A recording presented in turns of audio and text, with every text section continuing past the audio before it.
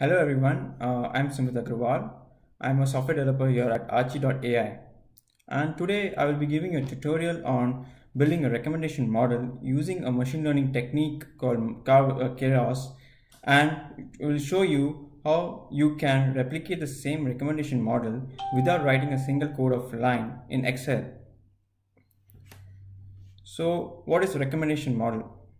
Recommend, recommendation model, uh, you must have used uh, have bought products from Amazon or have watched movies on Netflix. Uh, what they basically do is they analyzes what kind of movies you're watching or what kind of products you're buying. And depending upon on your interest they recommend you similar objects or similar movies of your interest. This is an overall and a technique of recommendation model. And we are using Keras. Keras is a deep learning API which sits on top of TensorFlow and Theano. It basically gives you a higher com computational uh, capability to your machine where you can run more complex algorithms and do better analysis of your model. Uh, why I'm using Excel is many people who are new to machine learning or are very are, are very they know very few few uh, things about coding can still uh, can build their machine learning model. Excel provides a platform where you can just take a bunch of your data and do some analysis and and it will convert it to a machine learning model. This is this this will show you how how you can use excel to even analyze a simple model okay so let's start with the tutorial. I will be using a library uh, Python 2.3 and if it's not installed on your computer you can download it from Anaconda. And along with that you will be needing a Keras library which, will, which is the deep learning library and a Microsoft Excel sheet uh, I will be using a database called uh, Movie Lens. And you, you, can find it out on Google. Just type Movie Lens and just uh, click on the link. And this Movie Lens is a data set of about uh, it's a rating data it's a database where 27,000 movies are being rated by around 1,38,000 users. So it's a very good clean data set which we can use for uh, modeling our data, modeling our machine learning. There are two data set which we can download. One is the large data set uh, which has all the 27,000 movies and one like 38,000 users uh, or else we can download the small data set which I will be using for for this tutorial. So just click on this file and it will download it. Once you have downloaded it, you can just open it and you can see there are a couple of CSV files. So this is the movie.csv file which will which shows the movie ID, the, the movie name and the genres of the movie. The other CSV file which we'll be using is the ratings.csv which has the user ID, the movie ID and the ratings which the user has given to that particular movie. So let's do with some initial installation. Let's start with some initial installation of libraries. So here I have installed the Theano library which will be running on Keras and then I have loaded the database. I can uh, this is a small visualization of how the database looks if you want to see uh, Jupyter notebook. So this is how uh, the ratings.csv file looks there's the user id the movie id and the ratings. And there are about more than one one lakh ratings or more, more than one lakh rate ratings which are given in this sample data set. And here uh, i have i have creating i'm taking the top here i'm taking the top 15 movies and the top 15 users so this top 15 users are based on the number of movies they have watched and this top 15 movies are based on how many users have watched that movie. So this is basically uh, normally by creating a dictionary and then sorting it and taking the top 15 values for the top users and the top movies. And here I have combined them to have a be better visualization of how the data looks. Now what I will do is I will take this data and copy this on the Excel sheet where I will do a simple I will where I will build a simple recommendation model where uh, so that I can when when I come back to Keras I can tell you what a single line of code means. So I what I did I copied this table to my Excel sheet. As you can see here the users is there. There are 15 users with the user IDs and there at this row you can see the movie IDs which are 15 number. And you can see all the ratings which are given by the user to that particular movies. So to build this uh, recommendation model we, we can't just simply use this table. We we need to know more insights about what kind of movie it is or what kind of user it is. So I introduced a technique called embedding Embedding is a technique where you give randomized weight and try to find features from that uh, element. So I've given, I have introduced five uh, embeddings for each uh, movie and five embeddings for each user. So you can see here, these are the embeddings which I've given for each movies and here is the embeddings which I've given to each user. You can, these are all random values you can just simply type equal to rand and you can it will generate a random uh, number from between 0 to 1 and you can just copy it and everything will be randomized. So so what it means is for this particular movie you can say as what kind of feature is there in the movie? Like the movie is about a, it's a horror movie or a comedy movie so if, if the movie is more uh, is more related to comedy the one of the parameter will be of will be of higher weights. So this is basically giving extracting features from each of the movies. And similarly we want to know what kind of user he is. Like he wants to, he, he likes to watch more of a action movie or he likes to watch more of a comedy movie. So each of this embedding represent a particular feature of the user and according to the user's personality this values will be assigned to the embedding. And so this is all random randomly generated for initial analysis. Uh, I, I will show you uh, in a better format how you can analyze it. So here is the same table but in, in a better representation. You can see here are the 15 users with their 55 embedding in each user. These are the 15 movies. And these are the embeddings for each movies. And this is the, the original table of where the users are there and the movies are there and the ratings which are given by the user to that particular movie. Now what I did is I basically took this user and I checked the embedding for that user in here and I just copied this embedding here. For this movie ID same I did. I took the movie ID 417 I checked it here. I copied this at this particular location. So in every row has a particular user embedding and movie embedding. And I did it this similarly for all the rows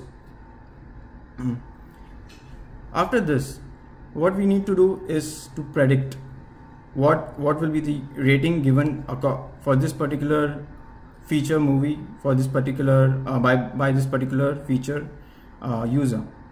So for prediction I use a technique called sum product. Sum product is basically taking each cell and multiplying it with uh, this the cell and uh, having a sum of it. So I just multiplied point, uh, 0.19 in, in points to 0.75 added with 0.63 into 0.47 and I got the predicted ratings for that user for that movie. And you can see that there is a difference between the actual rating and the predicted rating. This this this means that obviously our model is not 100% accurate. And we want to make it more efficient.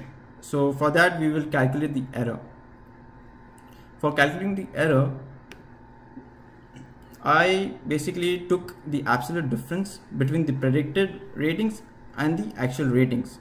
So here I just subtracted 1 1.15 to 2 and I got the error. And I took the square of that error. I did sim this similarly for the all the other rows. And at the end I finally calculated the, the root mean square error which is the overall error for this particular model.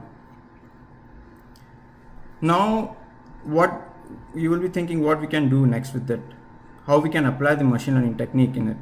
So Excel provides a very good te uh, technique called solver where we can apply a gradient descent which will which will minimize the error and make a mo model more accurate.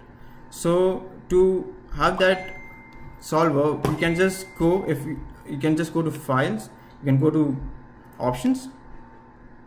In there you will see add-ins.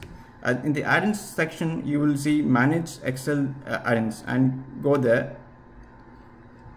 There will be a bunch of uh, add-ins available. Just select the solver add-ins and click ok. This will enable the solver in your data column where you can go and click on it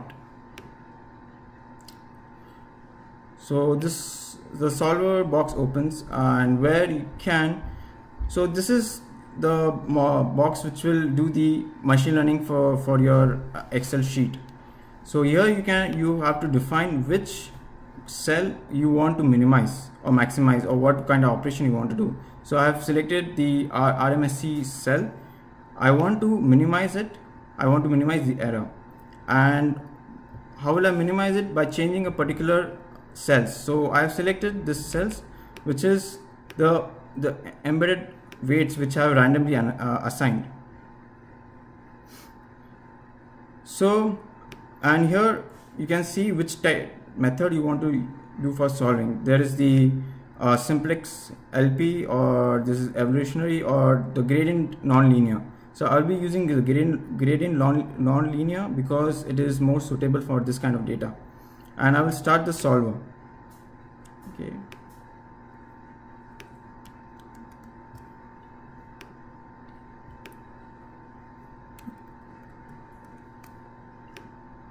Yeah.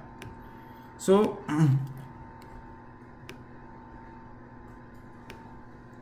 yeah. Okay. Sorry.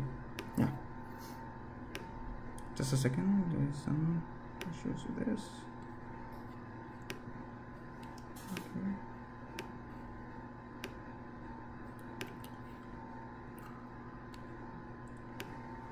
yeah so once you start the solver it will reduce the RMSE and it will give you an uh, efficient model by updating this embedding weighting uh, values.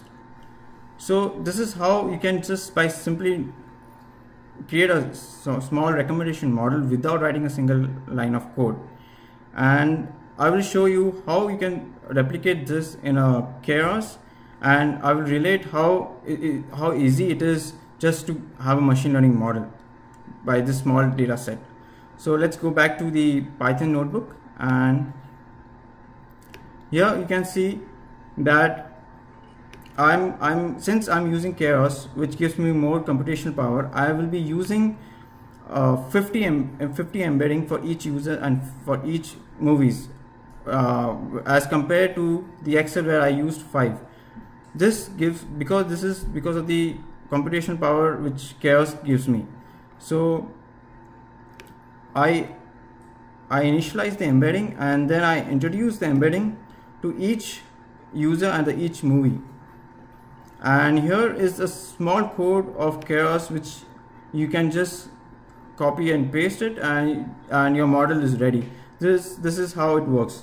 So you can see this is the this is the embedding of users and the movie which I'm doing a method I'm applying a method called concat which is the same as some product which I did in the Excel sheet of calculating the prediction.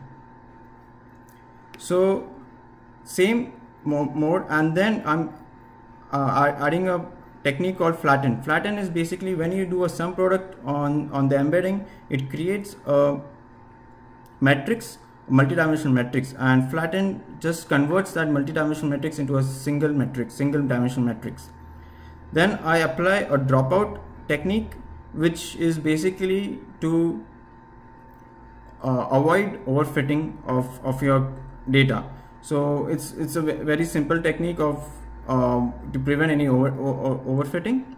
And then finally, I do Adam, which is similar as this gradient descent.